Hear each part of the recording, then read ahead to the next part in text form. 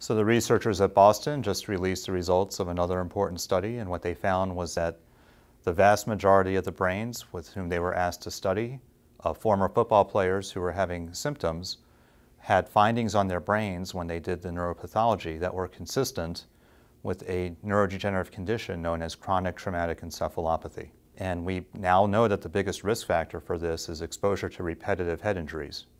CTE, or chronic traumatic encephalopathy, is a term that we now use to describe the progressive neurodegenerative changes that can occur in the brains of some individuals who've been exposed to repetitive brain injury.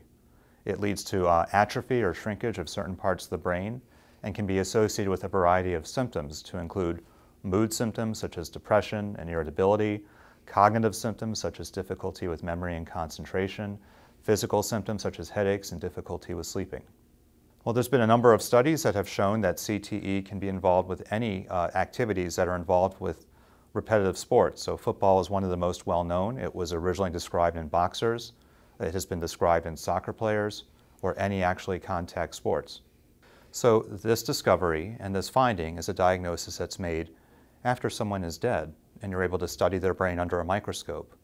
What we'd like to do is be able to understand how to make that diagnosis while they're alive, and hopefully that can lead to interventions and treatments that can help prevent this and give them a better quality of life.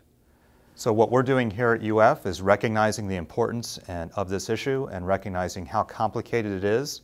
We've assembled an interdisciplinary team of scientists from a variety of different clinical and medical and scientific disciplines all working together to try and better understand this process that might lead to treatments that we can do to help improve these people's ways of lives.